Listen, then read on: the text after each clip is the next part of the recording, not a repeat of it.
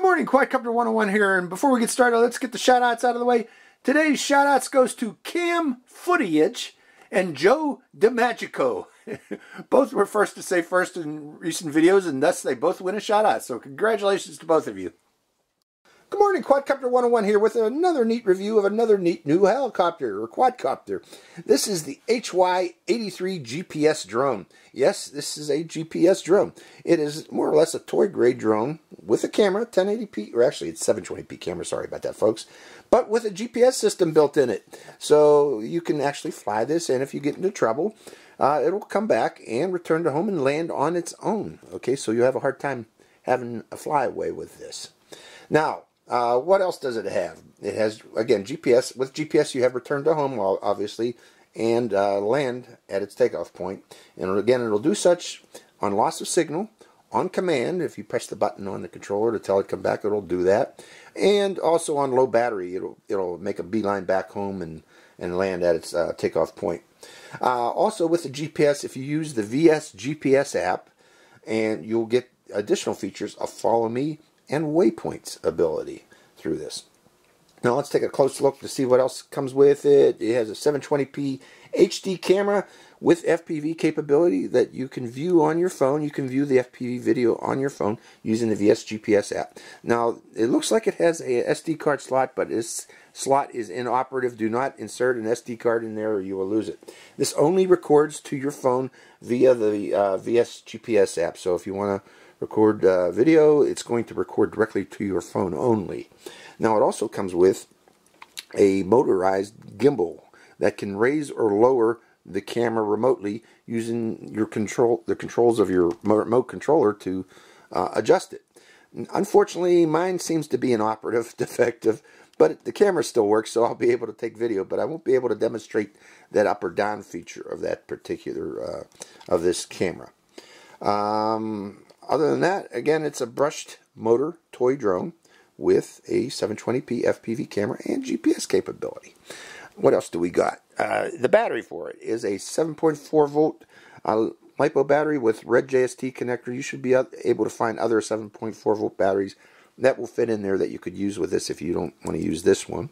But this is 7.4 volts at 850 milliamp per hour and it should give us over 10 minutes of flight time. We'll find out if that's true. Uh, other things you get with the drone, you get prop guards if you want to fly this indoors. I don't know why you'd want to be flying a GPS drone indoors, but you it does have prop guards. If you go outdoors, do not put these on, folks. Uh, you're just going to, these end up as sails in the wind, or if you end up in a tree, they end up as hooks. so they hook these drones in trees. Many a drone has been lost due to these things, is what I'm trying to say, folks. So you only use these indoors to prevent your drone from bumping into the lamp or people or your pets. um, other things you get. You get this package filled with spare propellers. You get a full set of spare propellers. You get the battery charger for this. This is the battery charger. 7.4 volt battery charger that you can plug into a micro or into a USB port. Um, USB wall charger for your phone would, is what you would use mainly to charge that battery. And also you get instructions for both the drone and also instructions for the VS GPS app, which unfortunately does not, the version that this requires, VS GPS is on Google Play, but that does not seem to work with this particular drone. You're going to need to use the one that comes from China, the VS GPS from China, to get uh, the app to work with this drone, because I tried the Google Play version and it does not work, but the China version did work. Let's go over the controller now before we go any further. This is its controller, uh, very well labeled. Now this one here is your rates uh, button. This is your return to home button right there. This button here is circle position. This You can do circle position without using the app. That's pretty cool on this drone. Uh, you don't really need the app uh, to do the circle position. You just press that button there. Um, it has headless mode, which you activate by pressing this button here. You can turn off the GPS by pressing this button here or turn it back on. You unlock the motors for flight by pressing this button here. You can do a uh, compass calibration by pressing this button here, and I'll demonstrate that before we go flying, how to do a compass calibration. And you can do a uh, gyro calibration of the gyro sensors by pressing this button here by, while the drone is on a flat level surface and powered up. And finally, uh, return to home and landing is this button here, and not finally. These buttons here, these buttons here on the shoulder, this is to raise and to lower the gimbal of the camera, point the camera up or down. But again, unfortunately, mine seems to be defective, so I won't be able to demonstrate that particular feature.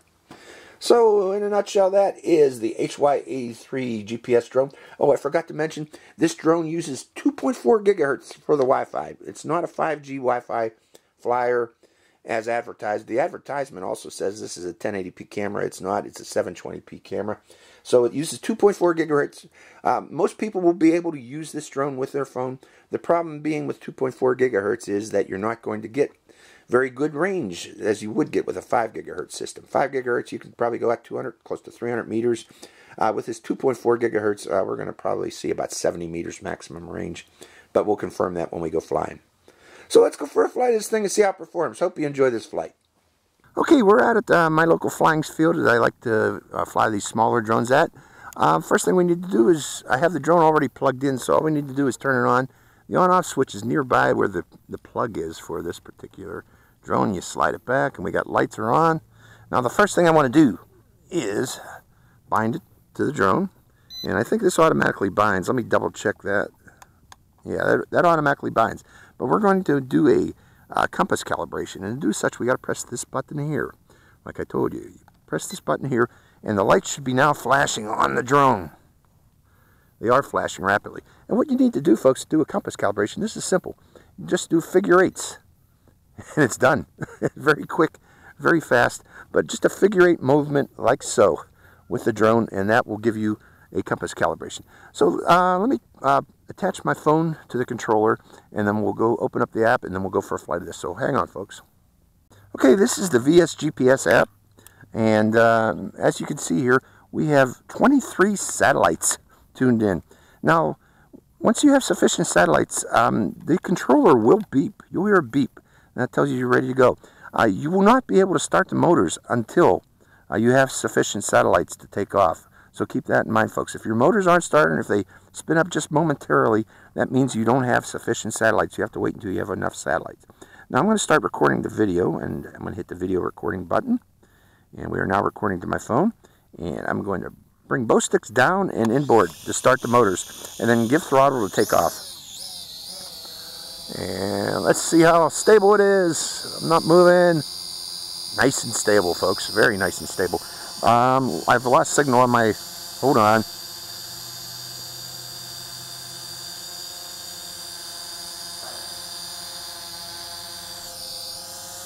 I gotta land it, folks. I got problems with my, and I'm gonna talk about this.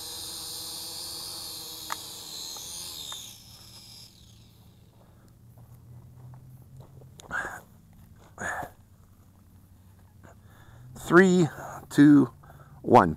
There's one thing I hate about these particular type of phone holders, and I'll show you the problem here, is on my phone and a lot of other phones, the on-off switch is on the side of the phone. And when you insert it inside these type of controllers, like such, um, it will turn the phone off. okay? They really, really need to stop using these type of controllers. They're just not good for my phone. so, uh, you hear that, uh, designers out there? These type of controllers or type of phone holders are just awful. They're awful.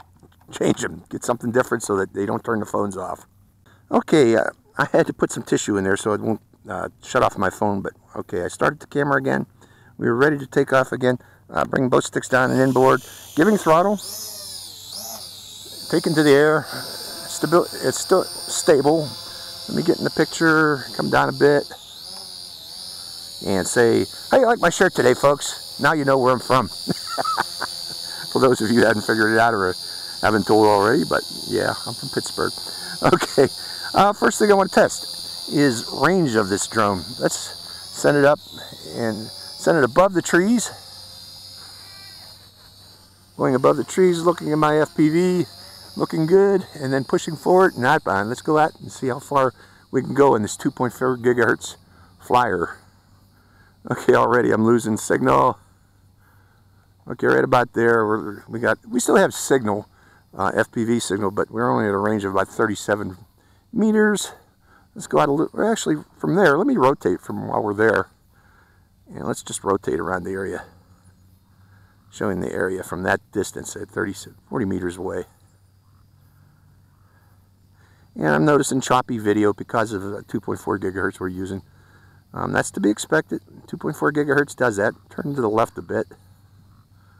I want to fly toward, uh, I'm going to fly diagonally over toward the skate park. Let's see if we can go that, how far we can go toward that skate park. Pushing forward. Going to the left, and it's getting real choppy. It's still flying. Going up higher, but it's very, very, very choppy. At about 76 meters or so.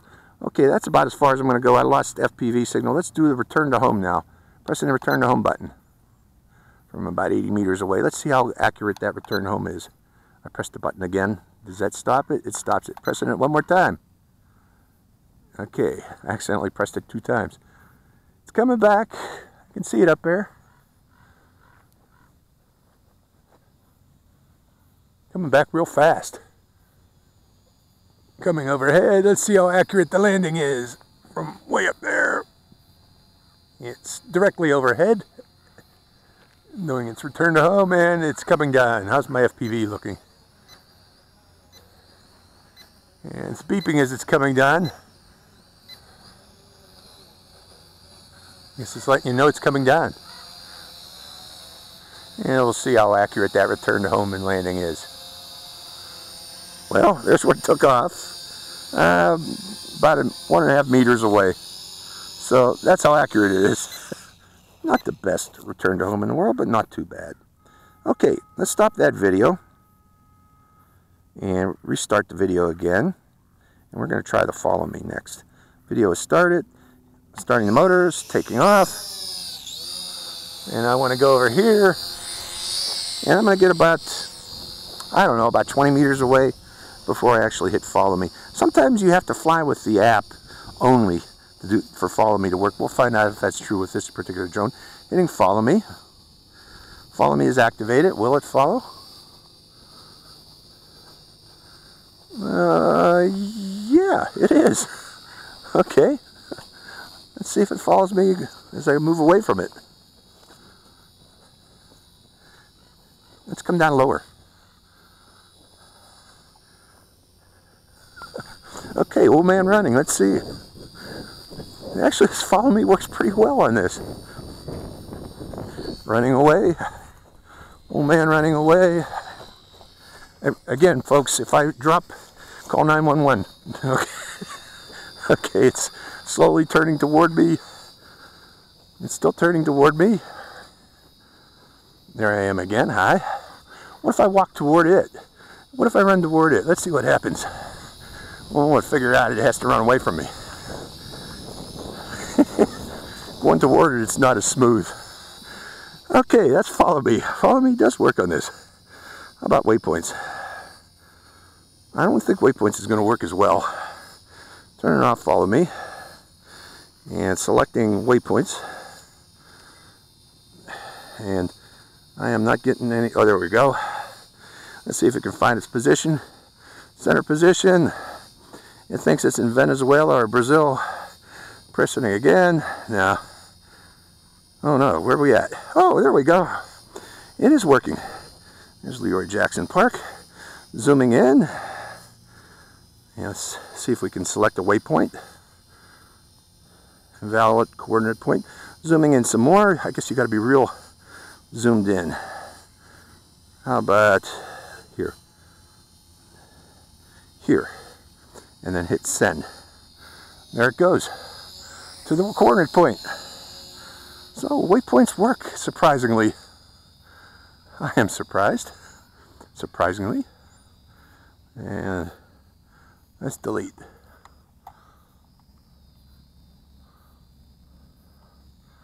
I'm trying to pull it back. Okay, let's return to home from over there. And it climbs. Climbs up. I don't know what the altitude it climbs to. We're about to find out. It's 16. Does it go about 20 meters, I'm guessing? Yeah, about 20 meters, and then it does the return to home. And flying back from over there where it was. So the waypoints actually work. You, you just draw a waypoint and then hit submit and then it'll um, fly to that waypoint. So pretty darn cool. Let's come out of this waypoint view. Hitting waypoints again to come out of that view. And uh, what haven't we done? We did circle me, we did, oh, circle position. When it gets down low enough, let's say that's our position where we want to fly. I'm going to stop the return to home right there. Just wanting to go all the way to the ground. Okay, that video I'm going to stop. And starting the video one more time. And starting the motors. Taking the air. Okay, at that height there, let's hit circle position. And the radius we want to make, uh, I'm trying to type, but let's make the radius 10 meters. 10 meters. Hit done and confirm. And let's go at 10 meters from my position. Is it going to turn toward me? That's the question. Yeah, there it does. It automatically turns toward me. And then circles the position where it was at when you hit 10 meters. So this actually works very well too. Let's see if I can come down lower so you can see me. you know, this one is actually very nice. Um, it actually, everything seems to work on it, uh, which I'm kind of surprised, with the exception of the up-down uh, camera, but you can manually move that up or down before your flight. But, uh, wow, I, am just impressed that uh, this is actually working. Because I've been through so many of these GPS, these uh, toy grade GPS drones, and most of them are terrible. But uh, this one's not too bad. Now it's climbing on its own. That means it's probably low battery. Let me look, 21%. So by 21% it's climbing. So on low battery, it climbs. And I'm guessing it's going to do return to home and landing. Let's find out. Does it come back toward me? Yes, it does. So on low battery, wherever it's at, it'll climb up to 20 meters, do a return to home, and then land itself. So all in all, this hasn't been too bad. I kind of like it. And I hear a helicopter. I got to land real quick, folks. Here it comes. it's coming down. So hold on, folks. We'll be right back after this helicopter passes.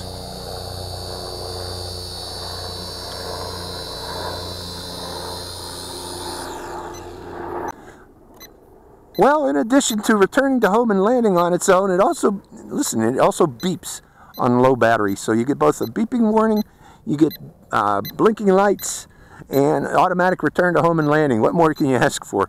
So this one's actually pretty cool. The, the only thing I didn't like about it, again, is mine seems to be defective, the up-down switch, and also I don't like this phone holder, but you can get around it by jamming anything in there. I use tissue paper to, to give it some space so it doesn't shut off my phone.